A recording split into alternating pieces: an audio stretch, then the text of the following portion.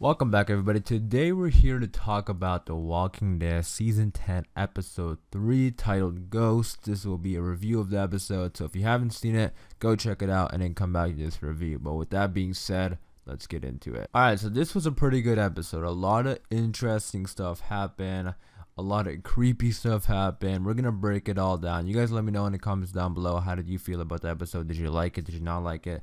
Let me know in the comments down below. Uh, starting off with the opening minutes, I did really like those opening minutes. I thought the opening minutes were very intense. I mean, the whole episode was really intense. You're gonna keep hearing me say that word throughout this review, intense, because a lot of stuff uh, was intense. I think I just said it like four times in 20 seconds. But anyways, yeah, I love the opening minutes because it was a great way to show how long they've been killing walkers. And it showed us that walkers can be a problem again and a really big problem because, you know, they were up for like 50 hours straight killing walkers. And that's like really crazy to think about. So I love how, I love how they actually like, um, you know show that on screen like hour 6 hour 20 hour 30 and as the hours was increasing the music was getting more you know faster and you know it felt like a heartbeat. I just really liked that whole sequence. The carol stuff was definitely the best part about the episode. We're gonna get to that in just a minute. I'm gonna save the best for last but i want to talk about the negan and aaron stuff first because I also really did like uh, those two together, um, and I like how they paired them up because, uh, well, it's interesting what they're doing with Negan. I feel like they're slowly trying to make Negan um, oh good with people who don't like him. Like there's like the general community who probably don't like him, but then there's the people who really don't like him. Like Aaron obviously is gonna be one of those people because the Saviors killed Eric. And by the end of the episode, we saw that Negan and Aaron are maybe not the best of friends, but they're okay now. And they're doing it's a very clever way of how they're, you know, pairing up the characters and Negan is trying to get on the good side of these main characters who are going to be you know, eventually probably on the same side as Negan um during in the future. And I have like Negan is sort of I guess okay with Michonne because I mean I wouldn't say like again all these characters that I'm saying like Negan is good with. Obviously, they're not like the best of friends, or I don't think Negan will ever be friends with any of these characters. But I think they will be able to live together because he already sort of has Michonne's trust. You know, he by saving Judith, that's a big one, obviously. And now this episode, you know, saving Aaron's life and helping Aaron you know, down the road that Aaron is not gonna hold a grudge against Negan anymore. Because so that is sort of settled uh, Daryl is the one that I'm really interested about. I know uh, they did confirm that Negan is going to meet Beta this season, which I think we all already expected, but it's been confirmed and they're kind of hyping it up because it's going to be really awesome. And that could play into um, Negan sort of getting a redemption uh, from Daryl. We know Beta and Daryl fought last season. I wouldn't be surprised if there's a rematch this season and if Negan, if Daryl's life is like on the line and Dar- Negan saves him, obviously that's gonna earn some points for Negan. So we'll see if that happens. I'm hoping it does.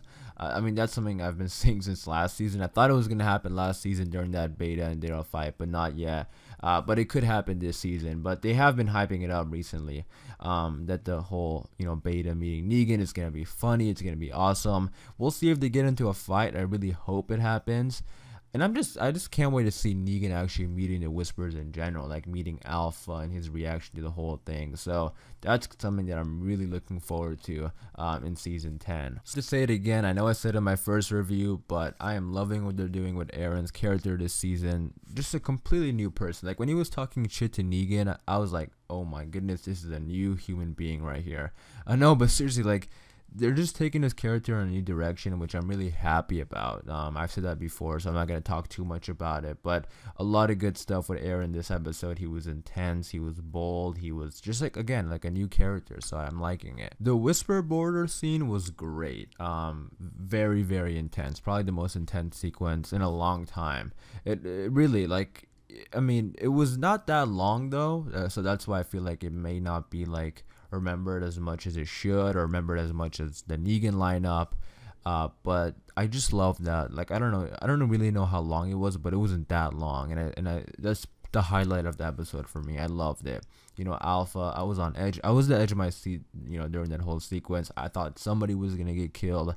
I was surprised that Alpha even let them go. And it's also cool to know that now the Whisperers, or at least Alpha, you know, she knew that they crossed into the border during this storm. I always kind of theorized that, but now it's been confirmed, so that's pretty cool. Especially after Carol shot at Alpha. That's why I was so surprised that Alpha let them go. But, you know, that stare down was great you know, Alpha walking up to Carol and saying, What did you just say? or something like that. Like, I love that stuff. And like I said in the beginning of the video, Carol is definitely the highlight of the episode for me. I love everything that was going on with her this episode. I mean, the hallucinations were really tricky to know which was real and which wasn't because a lot of things I was actually falling for. Obviously, the book I didn't fall for, but that was really creepy seeing that book. I thought it was a real cool touch to the episode. Uh, really cool stuff. Um, the jump scare, I mean, that was a pretty good jump scare, I have to admit. I wish they played more played more around with the voices and made the atmosphere more scary rather than that jump scare. I don't know. I just something about it felt off to me. I don't know. But again, it was a hallucination, so I guess it makes sense. The walkers in the gym, that was pretty good. That was one of those things. I mean, that was really creepy, honestly. Really creepy when, you know, the whisper and she imagined it. I think I'm still kind of like on the edge. Like, did she imagine it or didn't she? I don't know. I, am but I think she did imagine it.